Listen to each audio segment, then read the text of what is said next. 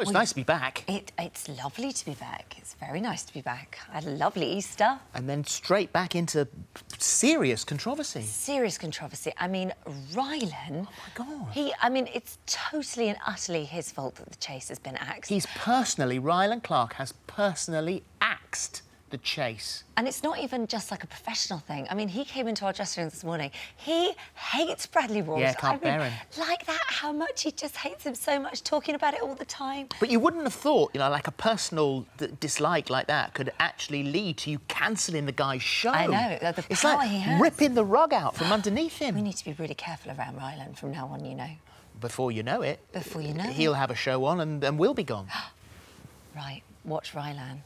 So we should explain. There's the pause. Now that we've just put a load of petrol onto the fire Yeah, yeah, yeah. and burned those flames. All over the Mail Online now.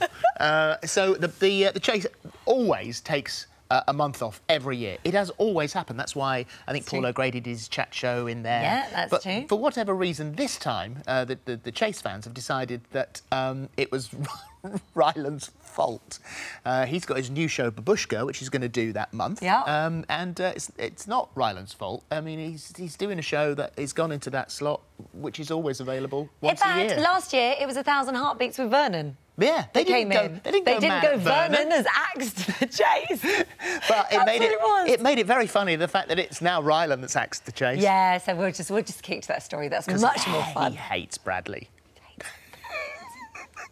Shocked. I think that's the, got to be the best bit of the show. It's not often that we are utterly dumbstruck, Duped, Phil. duped. Duped by Kieron Richardson. We knew him back in the day of Dancing on Ice. We've known him for such a long time, and he comes in on our sofa and he lies. Well, the thing is that we had no clue that this had happened. The other day he came in, he did uh, an interview about Hollyoaks Yeah. and the big storyline on Hollyoaks. It made it look like he'd let something slip. About the hands around the neck. But he could be the really, he was, uh, uh, and then on, on air he was mortified and, and thought he'd let you know he'd let too much slip.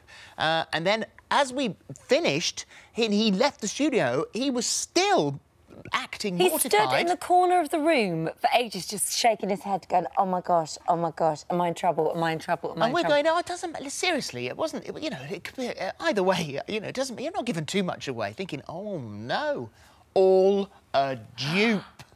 And he's got busted because Sharon Marshall told us.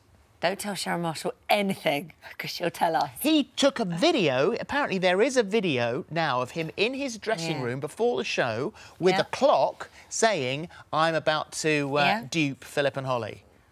Well, you've been busted now, haven't you, Kieron? Big time, big, Big time, time. busted. But well done, by the way. Soap Yeah, Award for. Best Acting. Well done, very well good, very good. Best bit for a Wednesday. Well, I quite enjoyed today uh, our, with um, Liz Earle, who came along to teach us all about probiotics and looking after your You made me eat gut. it. I did. You made I me eat it. But you know why? Because you literally will eat anything. Yes, true. I will and so I knew if I said it, you'd also have to. And it did just not look like kefir, wasn't it? Yeah. Which is like a kind of curdled. I thought it was a lime leaf. I thought they were kaffir lime know- leaves. I didn't know that it was actually a gloopy, goaty, barley, fermented, sicky tasting gloop. I mean, you, you are very. She did say don't eat it in its in that form. Um, you it, said do. eat it. Uh, so It tasted nice when it was in its long drinky thing. And you can put it with honey. And I don't know why we didn't, but you could put it with honey and, go, and that sweetens it it up sweeter. a little bit. But I, I'm fascinated by all that stuff. I believe in. You know how sceptical I am Yeah. about most of this stuff. But, Yeah, yeah, but yeah. probiotics, good on the inside, feel good on the outside. And, it, and once we had a taste, it's hard to suck up a straw though. As you discovered. It was thick. You should get it? yourself a little hose. You did need to suck it up a much wider straw because that was hard. That, uh, you know, I, I put in my cheeks. I thought, uh, you know, I don't know that I've got the strength to get this up, but I did. In the end, I did. Thankfully, you did very well.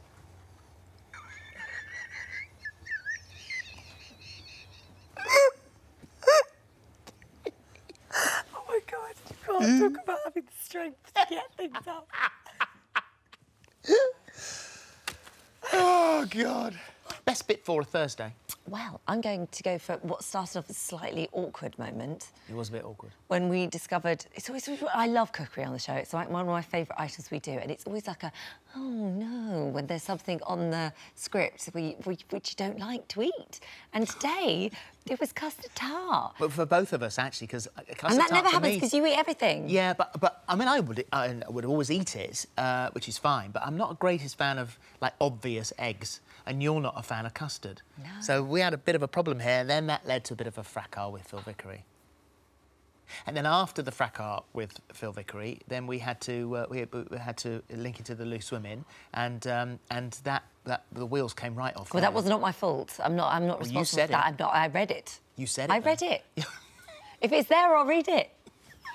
Oh, I'll remember that. So But- yes, I got into trouble then, and then it all turned out rather lovely. oh my goodness me! No wonder he won pastry chef No, of it the was year. really good. It wasn't so much custard as a kind of vanilla.